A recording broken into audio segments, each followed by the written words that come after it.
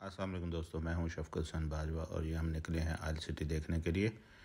ये आप देख रहे हैं, यहाँ से सड़क तुरबत और कराची की तरफ़ टर्न होती है। ये मैं आपको दिखा रहा हूँ। आप जाएँगे जैसे ही आप ये निकलेंगे ग्वादर से बाहर तो ये आपके लेफ़्ट साइड पे बोर्ड नज़र आएगा, जम्मू कश्मीर का।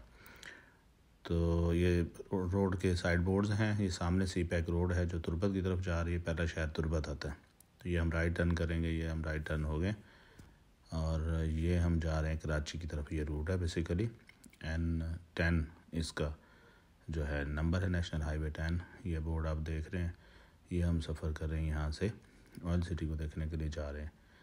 तो ये हम जा रहे हैं जी, जाते जाते आपको दिखाएँ हमारे लेफ़्ट पे एन असलम जी। ये आ गए हम आयल सिटी के अंदर, आपको दिखा रहे हैं जी आयल सिटी ये सिटी का रकबा है, ये देखिए, आप, ये चारों तरफ़ मैं आपको दिखाऊँगा कैमरा घुमा के, ये सामने जो है समंदर है इसके पहाड़ों के पीछे। मैं आपको भी जूम करके दिखाऊँगा, ये कोस्टल हाईवे फ्रंट है।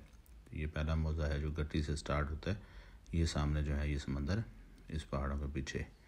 तो इसी तरह से ये सारी ज़मीन जो है, ये तकरीबन कोई साठ किलोमीटर दूर गवादर से स्टार्ट होता है रकबा, और इसी तरह ये सीधा पसनी तक जा रहा है गुर्रानी मौज़े तक। तो ये मैं आपको लेफ़्ट पे दिखाता हूँ। ये देखिए, ये अपोजिट ऑयल सिटी एरिया है। मौजे दोनों तरफ़ बराबर तकसीम है। तो ऑयल सिटी प्रपोज्ड है। अभी तक यहाँ पे कोई काम स्टार्ट तो नहीं हुआ। लेकिन ये एरिया है जो अपोजिट साइड का है, ये मैं आपको दिखा रहा हूँ।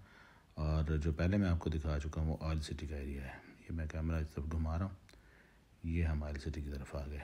ये लेफ़्ट पे ऑयल सिटी अगर आप कराची से आ रहे हैं और अगर ग्वादर से आ रहे हैं तो आपके राइट साइड पे ऑयल सिटी आएगा। तो ये एक व्यू है ब्रीफ व्यू जो ऑयल सिटी के बारे में आप सुनते हैं, उसकी ये वीडियो है। अस्सलाम वालेकुम